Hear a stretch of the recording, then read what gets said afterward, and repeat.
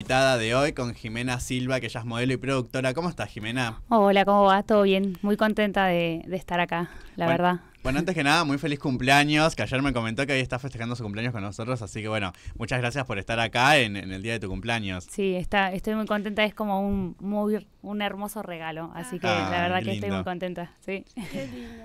qué Bueno, lindo. con Noni, Noni hizo el contacto y demás, porque bueno, tenés un montón para contar, hoy estábamos allá adelante y, y bueno, hay muchas cosas para contar, para conocerte.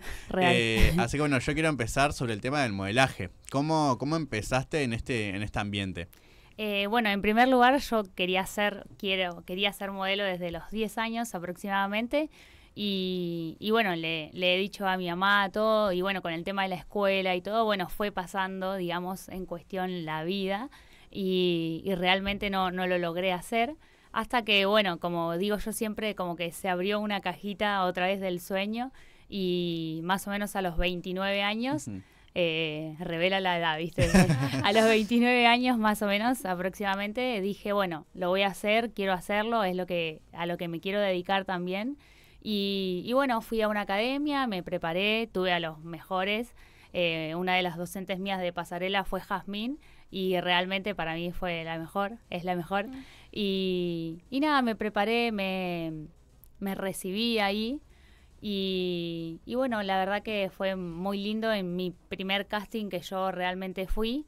eh, quedé, después de dos o tres días te tenían que llamar, viste, en los castings que son eh, dos o tres días. Y, y nada, quedé y de ahí en más nunca lo dejé. Realmente es lo que me gusta, lo que me apasiona y me Qué hace lindo. bien. Entonces, bueno, así seguí. ¿Y, y de, por qué, de dónde viste el tema de, bueno, quiero ser modelo? O sea, con 10 años tan chiquitita lo viste en las revistas, un video. ¿Cómo nació eso de, bueno, yo quiero dedicarme a esto, hacer un curso sobre esto? Sí, eh, realmente veía en la tele eh, todos los años el, el desfile de Mar del Plata que Ah. hacen. Giordano. Sí, todos los Ah, años. Pero todos los años yo ahí sentadita mirando. Es que, bueno, a mí eh, me cuentan de que la gente viajaba para ir allá y se sí. llenaba. Y en las Real. casas, yo tengo 41. Ujú. En las casas era algo, pero como sagrado. En mi casa, al menos, que mi mamá era mucho del tema de la moda, era ese, esa noche estar todos mirando en la tele y viendo todo. Y, y era hermoso cuando ellos decían, él empezaba ahí con TT, siempre estaba. Sí. Y empezaba ahí moviendo las cabezas y esto y el otro. Y a mí me ¿Recordás acercar el encantaba. micrófono? Yo creo que era es una generación que, que vivió eso de una forma muy linda. Es que yo veo los videos, todo, y es una locura. Sí, Sí, no, sí. no, tienen toda una producción muy hermosa y yo, bueno, re fascinada de los 10 años, imagínate, así que nada. Y, y bueno, lo logré. A los 29 empecé con el tema del modelaje. ¿Y cómo fue la experiencia de ese primer casting?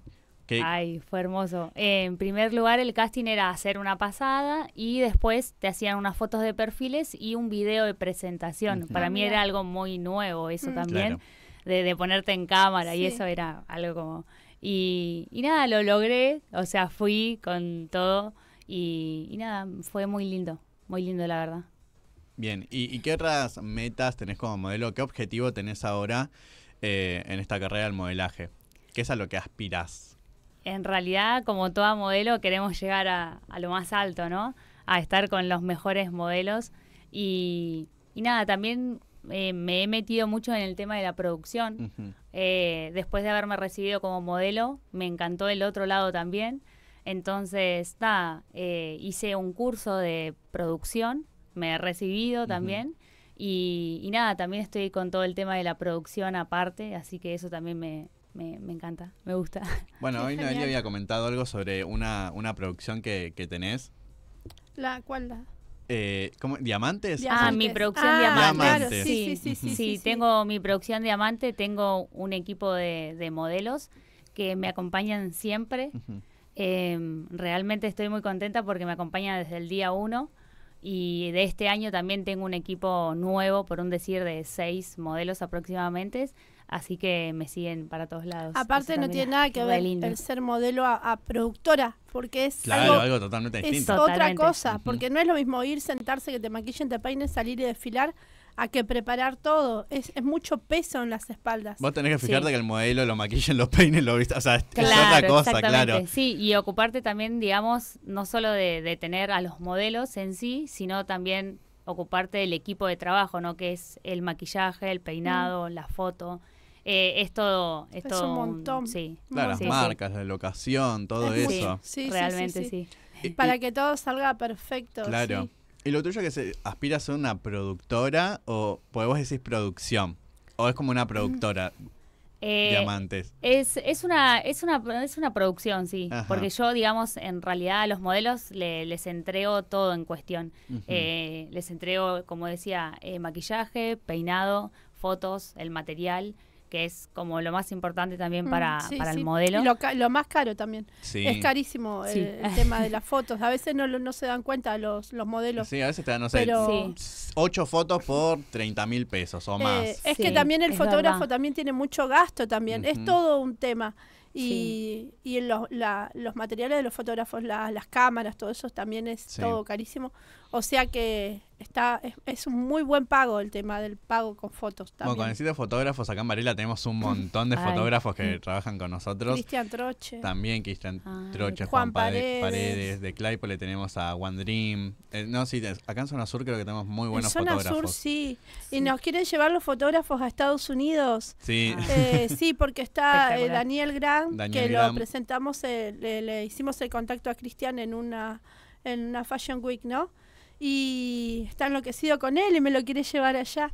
Así que, y bueno, también enganchó para los, lo- para los Miss. Para haciendo- todos los certámenes de lo que son Miss Ay, Universo, Los la- está haciendo él. las distintas franquicias, es el fotógrafo oficial. Sí. Eh, pero sí, Divino. Sí, sí, así que cuando necesites fotógrafos ya Ah, sabes a dónde recurrir. Sí. Total. Acá en Zona Sur. Zona Sur se está haciendo muy fuerte. Bueno, Florencio Varela, un montón en las redes estaba en Instagram y encontré una chica que estudió no sé dónde y, y es de Florencio Varela y es productora de moda. La chica esta eh, que está re- que es re famosa, que Valeria Massa le hizo re famosa. Anabel. Anabel, Anabel. Que es de Solano, si no me equivoco. Sí, Anabel Eh, también en Zona Azul tenemos La modelos y gente Ah, sí. La amo, la amo. Sí, sí, sí. Bueno, tenemos quienes nos hacen los flyers, que también eh, es, eh, hoy me enteré que era diseñadora de indumentaria también. Ah, sí, tenemos Ah. dos. Dos. ¿No? Y después tenemos a... Que, que también tiene la marca de, de Kids. Van a estar en el próximo desfile dos. Ah, tenemos un re equipo acá entonces. Sí. Yo me asusté Sí, cuando sí. sentí acá la voz que dijo Anabel. Yo dije, me estoy volviendo loca. Y me acordé que me iban a hablar por acá. Como es, Claro. eh, hay cosas que rescato de ella, lo del tema de, de no perder los sueños. Claro. Y que no nunca es tarde. Eso está genial. Real, porque no hay edad para, para poder obtener el sueño. O sea, y siempre digo yo, ¿no? Con esfuerzo, valor, amor y, y todo se logra. Se Sí. logra, realmente se logra. Y el plus Re que es de Leo. Ah, El ser, el ser leonina No. te da un plus extra también. no. Así que Y, y algo que me, me resultó interesante lo que vos decías de que hay academias que es hasta cierta edad te podés inscribir. Ah, A mí me sí. pasa con RC que ahora entiendo porque mucha gente me pregunta, pero ¿hasta qué edad es? Porque yo capaz el adolescente adulto es de 11 en adelante. Claro. Eh, y hay mucha gente que me pregunta, pero ¿hasta qué edad? Yo tengo 31, yo, te- y yo es re joven Sí. la persona, o sea... claro. Y, y claro, tengo muchas personas que cuando se van a inscribir me preguntan eso. El tema de yo tengo 31, ¿se puede? Yo tengo en La 37. Plata hiciste un desfile, Sí. una de las modelos tenía 80. 80 años tenía la modelo, sí. Hermoso. Hice Tremenda una modelo. camparela con un modelo masculino y el más grande tenía 67 años, por ejemplo. Pero, pero sí, eso me resultó como interesante el tema de... Va, no interesante, sino como medio chocante, capaz también de, bueno, hasta cierta edad podés estudiar con nosotros. Sí, sí, eso es verdad. Eh, muchas academias tienen como un tope, que está bien, cada uno tiene su perfil y, Mm. su, y su forma, Claro. pero creo que también tampoco dejarle, ¿no? O darle un freno a esta persona que tiene ese sueño de, de estar en una pasarela. Y, y bueno, realmente, bueno, nosotros tenemos eh, un proyecto que es Expo Desfiles y ahí nosotros tenemos las puertas abiertas para todo el que quiera ingresar, para el que quiera ir. Eh, no tenemos edades, no tenemos medidas. Para mí las medidas no, no tienen nada que ver. Claro. O sea, si vos querés ser modelo, hacelo. Para mí el, el, como decía yo, el 90, 60, 90, para mí no existe, o sea, en cuestión, ¿no? Eh, es un sueño y hay que realizarlo. Y, y no tiene por qué, si no sos 90, 60, 90, no sos modelo. Para mí no, no va. Es más, yo no podría hacerlo porque Claro. no tengo esas medidas. Claro. que, eh, es como algo también como que te ponen límites a algo que para mí no, no es así. Sí. Total. Bueno, acá eh, Sí. estamos leyendo los mensajes que mandan al, al chat de streaming. Acá te ponen muy bella Jime. Hola chicos, un saludo para Ay, todos. Eh, y sí, pasa mucho esto que capaz a mí me pasa que pienso que los diseñadores argentinos quieren aspirar a ser como los diseñadores de Europa. Por ejemplo, Sí. no sé, de, de Prada, Louis Vuitton y demás, que tienen modelos que sí son súper delgados y demás. Y acá en Argentina eh, no somos altos, creo que somos uno de los países Sí. que, que Sí. el tope de estatura es unos 70 por ahí. Exacto, y, sí. mm, y como que quieren aspirar a, hacer cosas allá cuando Argentina es totalmente distinto. No somos un país que consume mucha moda tampoco, que No. estaría bueno eso de hacer más eventos, desfiles y que sea más popular. Pero me pasa eso a veces, que los diseñadores argentinos quieren ser como los de afuera. Y la población, la gente de acá no es como lo- los europeos, por Claro. ejemplo, cosas así. Claro, sí, sí. Sí, eso suele pasar. O sea, como que también uno se tiene, siendo modelo o productor, también eh, guiarse en la cultura de cada uno, ¿no? De cada lugar y Claro. cada espacio. Y como vos decís, si los diseñadores están viniendo para acá o tienen, y bueno, tenemos otras formas, otras otras formas de pensar, otros valores, entonces eso también, ¿no? Como que guiarse y estudiar, practicar y ahí recién hacer algo. Claro. Eso también está bueno siempre. Sí, sí. Sí. Y el tema del modelaje, ¿tenés alguna experiencia que haya sido medio mala, que te haya quedado? ¿O tuviste experiencias buenas? Pues siempre en las entrevistas hablamos de lo hermoso que Sin es. dar la- nombre. Sin dar nombres si querés. Sí, pero eh, siempre nos pasa que en las entrevistas es todo hermoso, los mejores diseñadores, todo genial cuando invitamos a modelos. Sí. Pero casi nunca hablamos del otro lado, de capaz Sí. si tuvimos una experiencia mala o capaz... Porque también a veces pasa que entre los modelos se pisotean a veces el tema de, bueno, yo salgo primero, vos no, yo soy mejor, esto que lo otro. Sí. ¿Pasa mucho eso? Sí, en algunas, en algunas situaciones pasa eso. A mí me ha pasado algo así, como vos me decís, algo feo, por un decir. Eh, yo he tenido un casting, he quedado, eh, tuve el desfile y cuando me hacen la prueba del diseño, que es, fue el mismo día, tampoco fue antes, como para hacer la prueba, y el diseñador estaba desconforme de mi cuerpo. Mm. Entonces, eh, realmente eso en realidad, como productor, va yo ahora del, del otro lado Claro. también como productora, eh, como que esos son pautas que se hacen antes y más en un casting, como que pones pautas. Es más, hay algunos castings que te dice, bueno, necesito, no sé, una modelo de un metro setenta y bueno, si va una de 60 y no te va a tomar. Pero no es de malo, es porque él está buscando una de Claro, Y a veces sí, pasa eso, me pasa a veces cuando eh, con mis alumnos hacemos cosas con chicos que son de que, que estudian diseño, por Sí. ejemplo, y hacen prendas que son para ciertas medidas. Entonces el chico te dice, mira, si me vendís con otra medida, no se puede porque el diseño lo tuve que hacer con esta medida y no te va a entrar. Claro. Pasó con realmente. Adorada, que me pidió las chicas de una estatura. Pero ¿por qué? Vos te vas a mirar ahora los videos y los ves los vestidos. Son vestidos que tienen que ser para chicas altas. Claro, son súper largos, son mucha enormes. tela. Claro. Nayara mide 1,50, le hizo un vestido para ella a la rodilla. Entonces sí, se entiende. Cuando vos ves esos vestidos, tienen que ser altas sí o sí. claro. Hay un porqué. Eh, o sea que hay cosas que sí, pero después hay cosas que seguimos eh, como en el mismo tiempo Total. Y después terminan los chicos enfermándose de bulimia, anorexia, un montón de cosas que son delicadas. Sí, Entre lo que sí. consumen en redes, eh, la tele y todas esas cosas, crean estereotipos que, como dice él, en Argentina Claro. no somos así. Bueno, la gente que nos está viendo por streaming pueden opinar, a ver qué, qué piensan ustedes sobre el tema de, de las medidas, de por qué los diseñadores eligen Mm. cierto tipo de modelo, pueden opinar. Acá Sí. estoy leyendo, eh, dicen felicitaciones a mi amiga, siempre con vos, es Nat Sole, está en- Ay, en la arroba. genia, sí, la quiero. pero sí pasa mucho eso y en redes sociales también. El otro día veía que se puso de moda un filtro que te hace una cintura, un cuerpo y demás. Mm, sí. Y la gente lo usaba y dicen, miren cómo en las redes puede mentir. Y no te das cuenta que es un filtro. Está tan bien hecho. sí. Y, y muchas veces pasa eso, que los chicos consumen en redes y, Sí. y bueno, yo quiero ser como tal persona. La tele también es muy hegemónica. Mm. Como que si nos podemos ver la tele son los mismos como perfiles, gente muy delgada, eh, súper hegemónicos. Gran hermano. Gran Hermano. ¿Qué pensás de los castings Sí. de Gran Hermano? No, ¿qué piense de los castings de Gran Hermano? No, no Paso, sé. dice. ¿Viste, Eh, ¿viste Gran Hermano paso. esta edición? Lo vi, pero no soy muy fan, en realidad no soy muy fan de la tele, Ah, ok. en primer lugar. O sea, sí ponele lo que son series, películas, eh, desfiles, desfiles todos, y películas de desfiles también, pero no soy muy fan de, de la tele. Y lo de Gran Hermano quizás lo he visto ya a lo último, Sí. cuando ya está por terminar, Pero bueno, sí, también son como muy selectivos, ¿no? Como que buscan cositas en especial y eso también está, no sé si está tan, tan bueno en cuestión porque yo creo que también somos, somos todos humanos y somos reales, o sea, Sí.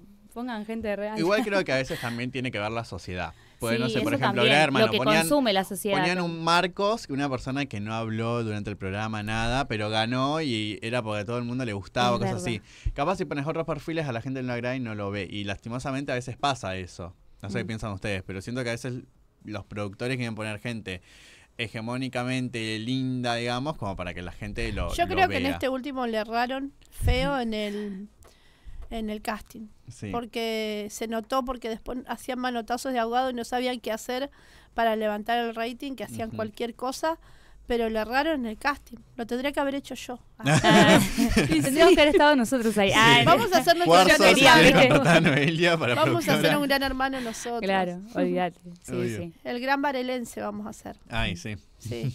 Y ahí vamos a poner todos en una acá dentro de la radio conviviendo con ella todo. A ver si Noelia hace las empanadas. sí, claro. claro. Eh, hace un año que debo empanadas. Voy a traer el miércoles que viene. Bueno, y a Diama- Diamantes, ¿es verdad? Sí, producción diamante. ¿Cómo la gente se puede sumar? ¿Cómo estás recibiendo gente? Sí, todo el tiempo, yo siempre digo, me tomo un tiempo todos los días, una horita, dos horitas, y busco modelos, busco modelos, Ah, mando, genial. mando. Casi siempre, obviamente, el- las redes, eh, que es el Instagram donde más Mm. me siguen. Eh, mi Instagram es jimenasilva.777. Y nada, ahí me pueden encontrar, ahí pueden ingresar no solo a mi producción, sino también a todo lo que es Expo Desfiles, que estamos en conjunto. Eh, así que nada, ahí nosotros le vamos a abrir las puertas y los brazos porque también eh, lo que yo veo es que los modelos también no solo un desfile, ¿no? sino también una contención. Eso es lo que a mí me gusta. Claro. También aportar, eh, en, en cuestión aportar eh, de, de decir, bueno, estás bien, eh, Mm. la primera pasarela, por ejemplo, de cada modelo, te sentís bien, estás cómoda. Sí. Todo eso, eso también está muy bueno.